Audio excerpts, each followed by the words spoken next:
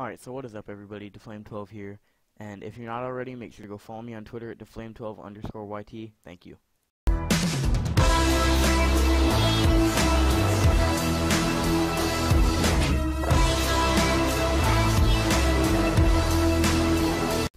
What is going on everybody, DaFlame12 here, back again with another all division squad builder for the NBA.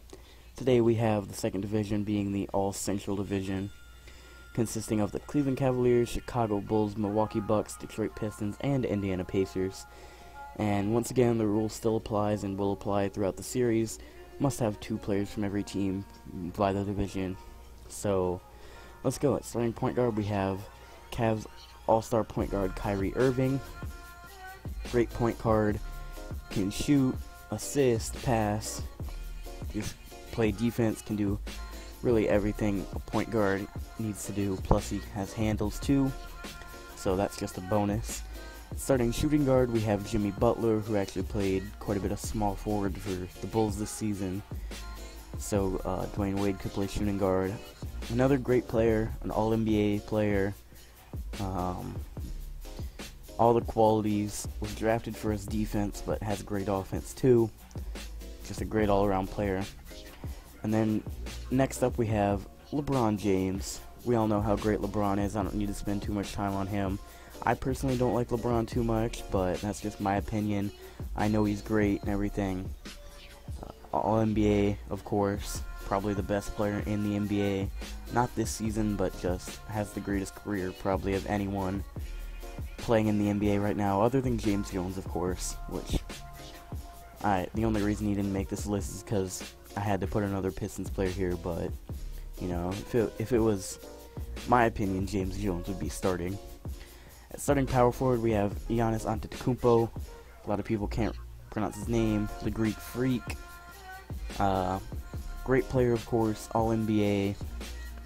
Uh, can play anything really except center, and might be able to play that if he puts on a little weight. But he's a great player. Definitely the best player on the Bucks, and with a little help, I think the Bucks can definitely be a great team. And at starting center, we have Andre Drummond, who really is a, a good player, but can't do much considering he doesn't have a very good supporting cast. Second best player on that team is Reggie Jackson, and the only reason I put him on this lineup is because I needed another Pistons player. But if he had some help, he could definitely be a part of a great team.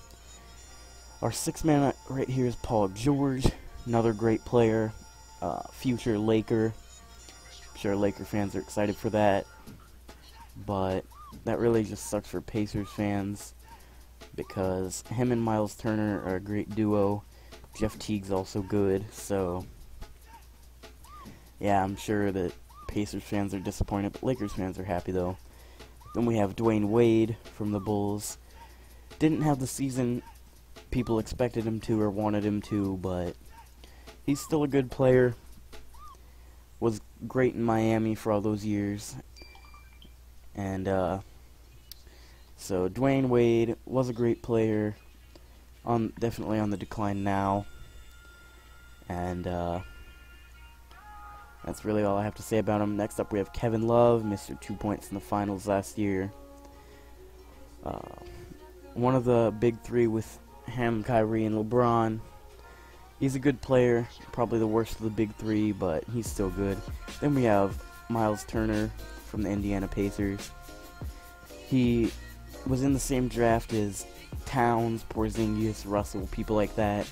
So he's still really young, but he he's a great player as well. Can definitely be one, probably a top five, top ten center in the league one day. Then we have Malcolm Brogdon from the Bucks. If I were to pick the Rookie of the Year, I'd probably give it to him, but that's not who I'm giving it to. I will do a, a an NBA award prediction either the day of or day before the NBA awards are announced, which I believe is June 26th. But Malcolm Brogdon really surprised everyone. He's a second round pick this year, and he turned out to be a pretty damn good player.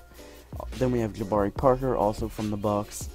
Another good player, but he ended up, I believe, getting hurt this year but if he can stay healthy, he is a good player.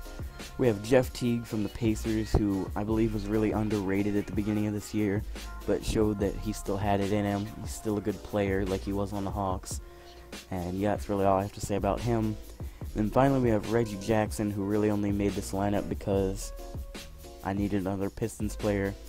But he's not a bad point guard. He can get the job done. He might still be able to be the starting point guard on a team if him and Drummond get some help. They need wing players, uh, basically anything except for a center and maybe a point guard. Because people like Kentavious Caldwell Pope aren't going to get the job done. But without further ado, thank you all for watching, everybody.